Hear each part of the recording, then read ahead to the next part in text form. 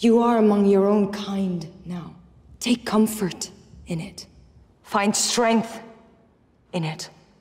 A blessing on all of you, a blessing on this place. This witch's place.